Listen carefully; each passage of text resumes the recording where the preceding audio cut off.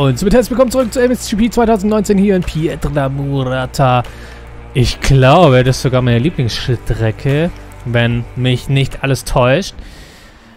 Ähm, damals bei MSGP 3 war da eine, die war richtig geil. So, wir gehen zur Strecke.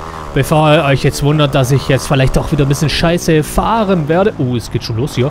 Ich habe jetzt die Fahrphysik auf fortgeschritten hochgestellt. Also somit eigentlich die höchste Stufe.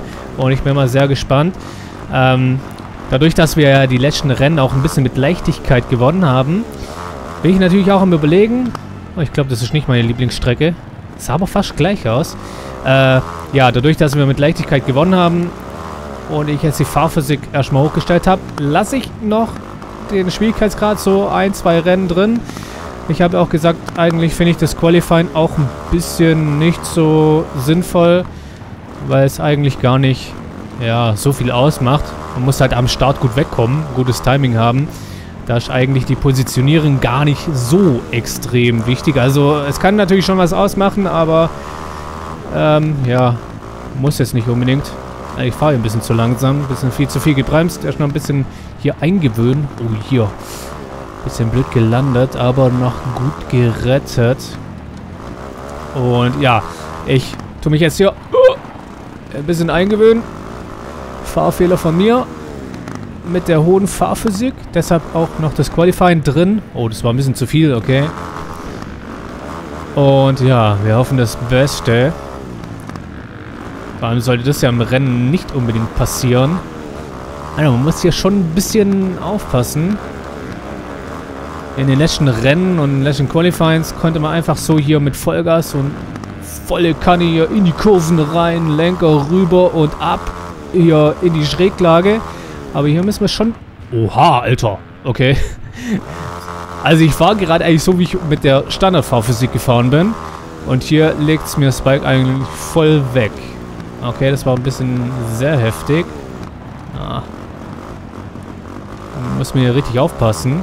Vor allem Platz 8. So gut war ich noch nie. Na, ja, toll. Es war schon wieder ein bisschen zu schräg. Aber mit der Landung und so konnte ich gar nicht mehr so viel ausrichten. Ist schon heftig eigentlich. Also, ich bin ja früher auch immer, also bei MXGP 3 und auch so bei MotoGP und so bin ich ja auch immer mit hoher Fahrphysik gefahren. Und auch äh, bei Monster Energy Supercross bei beiden, also beim 1 und beim 2er, war das auch so, dass ich so die ersten Rennen mit der Standardphysik gefahren bin und dann habe ich hochgestellt und dann bin ich halt wirklich, keine Ahnung, noch 20, 30, 40 Rennen mit der erhöhten Fahrphysik gefahren. Aber hier finde ich... Oha. okay, das war natürlich auch ein bisschen kacke gelandet. Aber hier muss ich sagen, finde ich den Sprung von Standard auf fortgeschritten schon extrem. So, gefühlsmäßig. Ah, hier über diesen kleinen Hügel. Diese Kurve ist auch übel. Also die Kurve hat jetzt nichts mit der Fahrphysik zu tun, sondern einfach so. Und hier bin ich zu schnell. Ich habe also langsam habe ich auch ein bisschen Schiss, in die Kurven reinzugehen. Also so, wie ich immer früher rein bin, mit der Standard... Ouch. Der Standardphysik. Da bin ich immer volle Kanne rein. Und jetzt habe ich hier irgendwie wirklich ein bisschen Schiss. Also die Runde wird schon mal gar nichts. Muss ich ehrlich sagen. Hier, sowas darf ich auch nicht mehr groß machen. Das habe ich auch viel gemacht. Auch so ein bisschen in leichter Schräglage zu landen. Alter, das Hinterrad, das geht weg wie nochmal was. Richtig übel. Ah, oh, Mann. Da sind so mega enge Kurven mit dabei. So, und schon bin ich nicht mehr Platz 8, sondern Platz 22.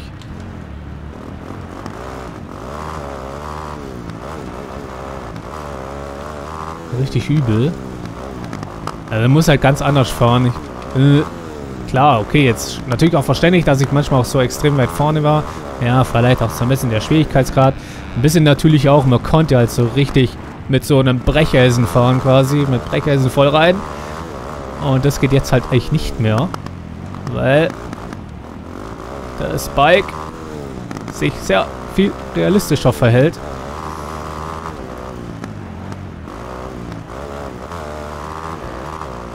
ist richtig übel. Aber ich fühle mich dann in den Kurven halt auch immer so langsam. Das ist mein Problem. denke mir dann nur so, hey, ich bin viel zu langsam, dann will ich wieder Gas geben. Und dann bin ich halt viel zu schnell oder dann rutsche ich rum oder drifte rum und hin und her und... Boah, Alter, guck mal, wie das auch extrem reingeht. Also im Vergleich zu dem, wie es reagiert hat bei Standard. Au, au, au. Bisschen Zaun mitnehmen. Also ich weiß nicht, ob ich es jetzt falsch in Erinnerung habe, aber früher war die fortgeschrittene Fahrphysik nicht so extrem. Oder es ist halt einfach die Umstellung. Ich glaube, bei Monster Energy Supercross 2 war es auch so, dass ich eine Zeit lang gar nicht so gut klargekommen bin. Achso, Zeit. Ja, aber guck mal hier. 3, 4 Sekunden. Hä? Ach nee, da ist das Ziel. Okay. 10 Sekunden. Ja, na dann. Okay, sehr heftig, meine Freunde. Ich meine, okay, klar, im Qualifying habe ich jetzt ja nie gut abgeschnitten.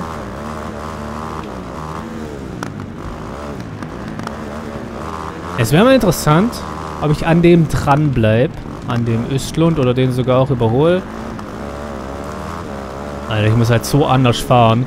Das ist halt schon übel, wenn ich jetzt Wäre ich dann vielleicht doch mit erhöhten Fahrphysik direkt gestartet in die ganzen Rennen rein, dann müsste ich mich jetzt nicht hier mittendrin irgendwie umgewöhnen. Muss man halt auch so ein bisschen dazu sagen.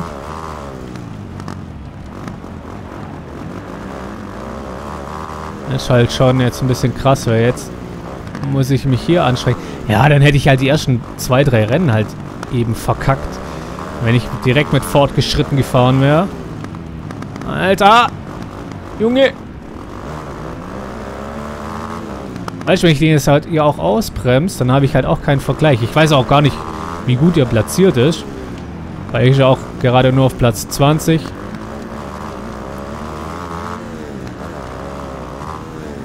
Vielleicht fährt er nicht seine oh, beste Runde. Aber ich glaube schon. Also, meine private beste Runde hier jetzt mit fortgeschritten. Oh, Fahrphysik, Alter. Was macht mein Hinterrad? Bleib auf dem Boden. Junge, brauchte ich für den Speed. Come on. Und ja, 37. Trotzdem Platz 22. Ich weiß es nicht. Ja, vielleicht der Tippi auch Platz 21. Und ich habe jetzt auch noch ein bisschen ausgebremst.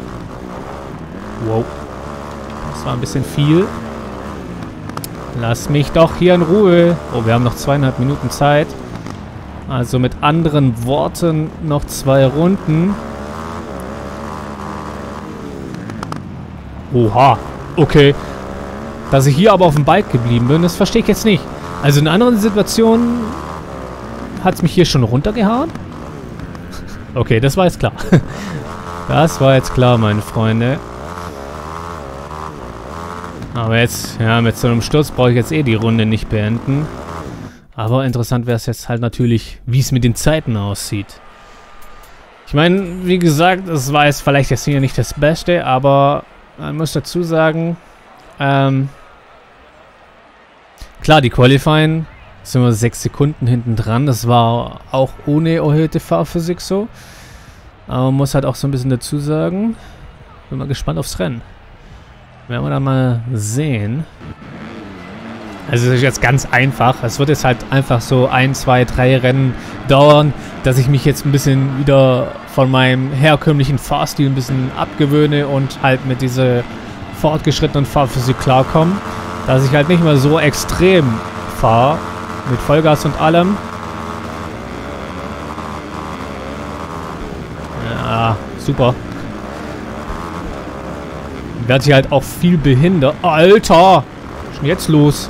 Ich wäre Platz 1 gewesen, Leute. Easy peasy. Aber sowas von... Walle, geh zur Seite. Gibt's ja gar nicht.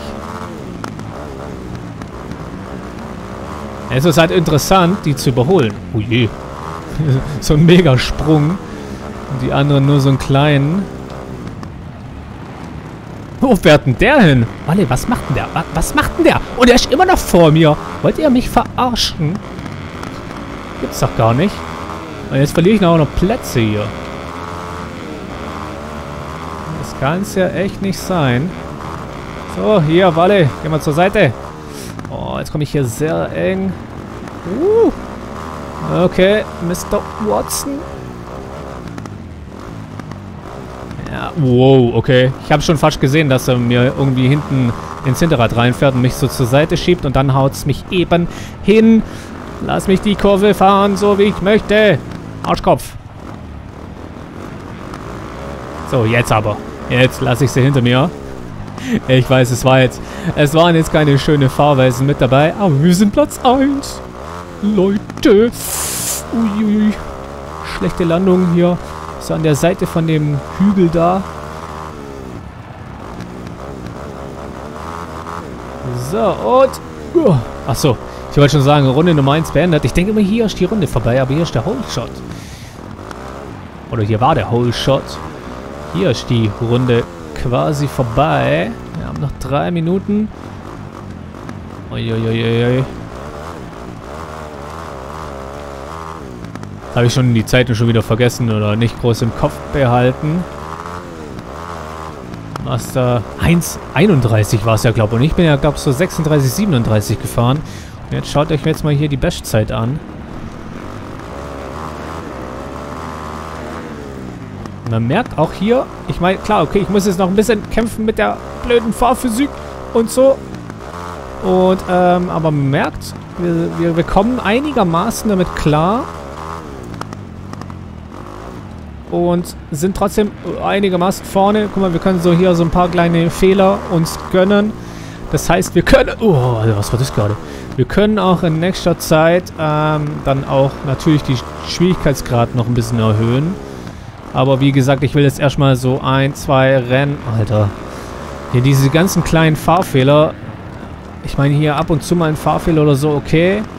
Aber so die, die Häufigkeit hier gerade, dass wir wirklich hier wirklich so 5, 6 Fahrfehler machen. Die müssen noch so ein bisschen weniger werden und dann könnte man... Alter. Dann kann man hier überlegen, wegen dem Schwierigkeitsgrad. Come on. Jetzt müssen wir wieder ein bisschen kämpfen. Aber es wäre... Autsch. Ja, auch... Au, au. Alter, alle überfahren mich hier.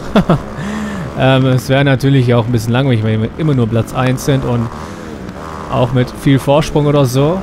Wir müssen ja hier auch mal ein bisschen kämpfen für unsere Trophäen.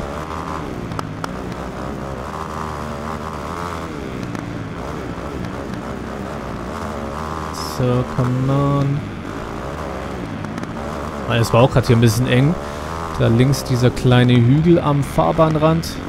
Alter, ich habe immer, seitdem ich jetzt hier die fortgeschrittene Fahrphysik drin habe, ich habe immer Schiss, ey, wenn mein Hinterrad so in den Drift reingeht. Eigentlich ist der geil.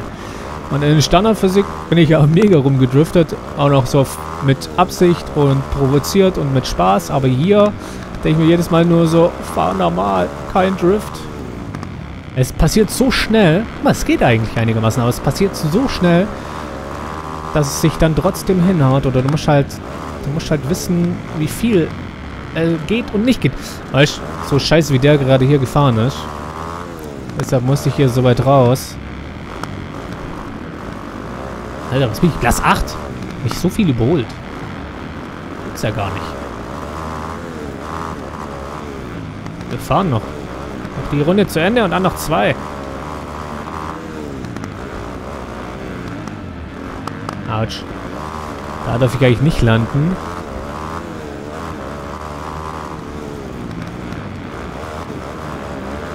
So, mal so fährt man eine Kurve. Das war doch schön. Richtig schön. Oh, der... Ey, der Walle, ey, der geht mir auf den Sack. Fährt hier so einen richtigen Schrott zusammen. Oh nein. Muss ich wieder hier in Events überholen. Uiuiui. Das war viel. Weißt, ein paar Plätze brauche ich schon noch. Die Punkte brauche ich eben. Weißt, wenn der Platz 1 im zweiten Rennen Platz 2 macht und ich 1 mache, aber ich halt da hier Platz 8 bin oder so, dann reicht das halt mit den Punkten gar nicht. Oder ich mache zweimal Platz 3 und werde dann Platz 2. So wie der eine letzte Mal. Oder ich werde zweimal Platz 3 und werde dann Platz 1.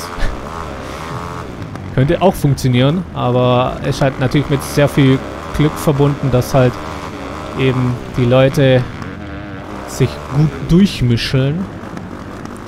So, keine Ahnung. Erstes Rennen Platz 1, zweites Rennen Platz 10. Und eben der Platz 10er aus dem ersten Rennen wird im zweiten Rennen Platz 1. Oder irgendwie so halt. Dann könnte das sogar noch funktionieren. Aber dasselbe müsste halt auch mit Platz 2 und 3 so ein bisschen sein. Nein, Alter. Also ich verliere hier viel zu viel Zeit. Wo wir jetzt noch Platz 6 sind. Nein, das war zu viel, Leute. Ah ja, doch, bei dem Sturz, ja, sind ja einige an mir vorbeigefahren. Genau, das war das. Ey, ich hatte so in Erinnerung, dass ich schon überholt wurde, aber halt von zwei Leuten oder von drei. Aber dann hatte ich ja noch den Sturz und da haben mich so viele überholt. Schon die letzte Runde. Also ich war so easy Platz 1 eigentlich. Und die Stürze waren auch nur, nachdem ich nicht mehr Platz 1 war. Also, muss Platz 1 sein, damit ich gut fahren kann. Komm, hier. Alter! Lass mich nicht vorbei. Come on. Wollte gerade sagen, ich will noch in die Top 10, aber ich bin ja quasi in der Top 10. Ich will besser als Top 10 sein. Sagen wir es so. Top 9. Oh. Nein, nein, nein, nein. Alter! Weißt diese Leute fahren mir so krass im Weg rum. Alter, ein Kampf hier. Ein richtiger Kampf.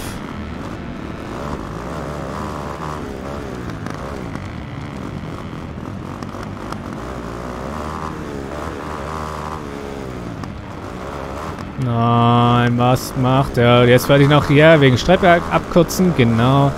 Ich habe mein Glück versucht. Weil ich hier so ein bisschen weg bin und... Ja. Alter, wie haut's da noch hin? Yay. Also ich kämpfe um Platz 9 und jetzt bin ich Platz 19. Wollt ihr mich verarschen?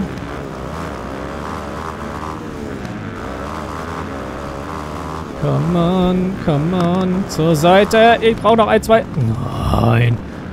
Alter, jetzt fährt der... Alter, guck mal, jetzt fährt er so ein Scheiß hier zusammen. Wollt ihr mich verarschen? Guck mal, Red Plate vorne. Platz 20. Oh mein Gott, ich gehe unter.